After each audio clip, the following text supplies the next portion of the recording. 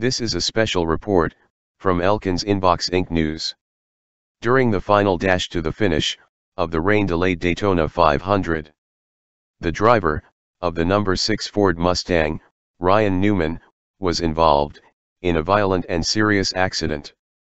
As the entire field, was coming to the checkered flag, during the NASCAR Crown Jewel event, the 12 of Ryan Blaney, made contact with the back end, of Ryan Newman's number 6 vehicle, launched him into the outside wall so hard, that the car rolled over, onto its roof, and was then struck, on the driver's end roof and door, by Corey LaJoie's car, sending the car flying, at least 12 feet or more, into the air, only for it to land, on the driver's side roof again.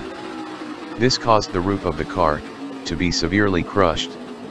The car came to a complete stop, at the exit of pit road, with fuel spilling out of it, causing the fuel, to catch fire. Following the accident, Ryan Newman was rushed, to the Halifax Medical Center in Daytona, which was thankfully, only a couple of miles away from the speedway. Newman survived the crash, with non-life-threatening injuries. However, he was reported to be, in serious condition.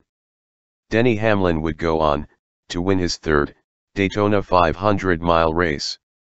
However, the team's celebration, was sombered, by the news, of Ryan Newman's dangerous crash. Elkins Inbox Inc. Audio Visual, sends its thoughts and prayers, to Ryan Newman, and his family. Let's all wish him, a speedy recovery. This, has been an Elkins Inbox Inc. News Special Report.